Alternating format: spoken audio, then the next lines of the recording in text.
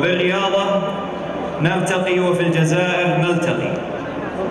هنا عشنا هذا الشعار واقعا في هذه الدورة من خلال لحظات لا تنسى وذكريات ستخلد بعد أن أكد المشاركون قدرتهم على الفوز بأكبر الاستحقاقات والمنافسات الرياضية.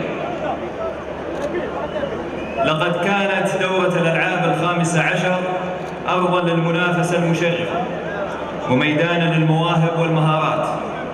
مثل فيها الرياضيون والرياضيات. بلدانهم خير تمثيل. وأسهموا في نجاح هذه النسخة بشكل مميز.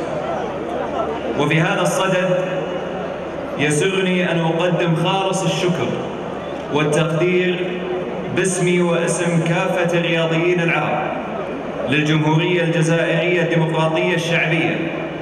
بقيادة فخامة الرئيس عبد المجيد تبون وللشعب الجزائري الأصيل على حسن الاستضافة وكرم الرعاية.